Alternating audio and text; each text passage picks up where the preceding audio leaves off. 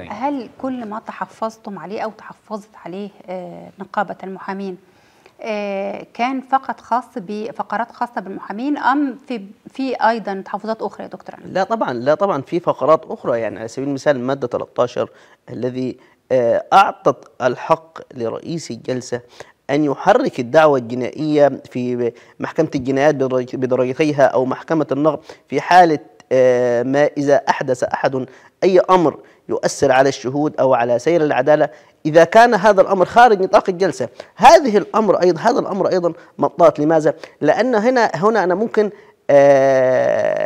أهدد الصحفي الصحفي إذا قام بنشر أمر معين أنا بين هنا بهدده. هذا الأمر الذي تحفظ عليه أيضا نقيب الصحفيين يعني نقيب الصحفيين أيضا تحفظ على على هذه المادة لأنه أنا بيمس حق الصحافة أيضا وأمر برضه غير مقبول. وفي يعني هذه المادة أيضا مادة مطاطه مادة ما هيش منضبطة لغويا.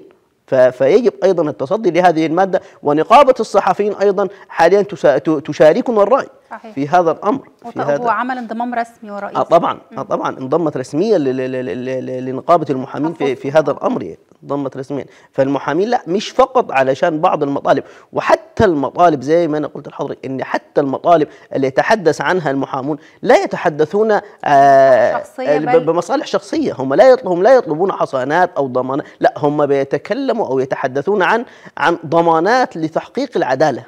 ضمانات لتحقيق ألا يمس ألا يمس حق المتهم في محاكمة عادلة في ألا يمس حق المتهم في تحقيق العدالة. هذا ما يتحدث عنه المحامي. في فقرات أخرى عليها تحفظ؟ آه طبعا في طبعا في فقرات أخرى آه على سبيل المثال آه بعض الفقرات اللي هي بتتحدث على القبض القبض المتهم والافتئات عليه في داخل منزله دون إذن. هذه المادة أيضا فيها افتئات على حق المجتمع وعلى حق المتهم.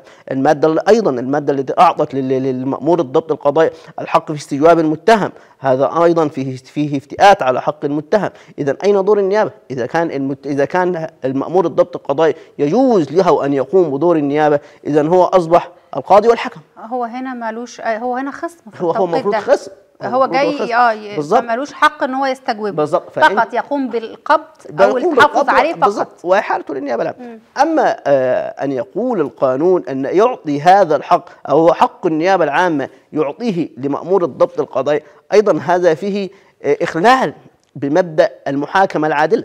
فإذا أنت خليت هذا جعلت من مأمور الضبط القضائي هو الخصم والحكم.